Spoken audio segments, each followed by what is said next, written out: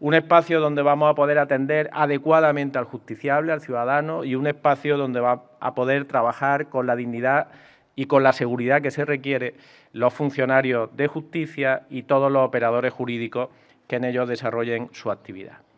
Vamos a hacer una inversión de más de 5 millones de euros, que a algunos les puede parecer excesiva, pero que a mí me parece justa por todo lo que he dicho anteriormente, porque hay que demostrar, y este Gobierno, el de Juanma Moreno, lo quiere hacer, eh, un compromiso con las zonas rurales de Andalucía, con las zonas rurales de Granada, con la Alpujarra granadina,